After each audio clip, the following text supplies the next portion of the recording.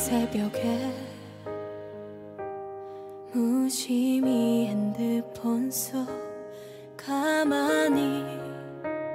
들여다보며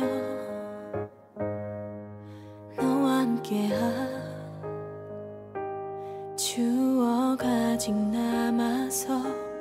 괜스러워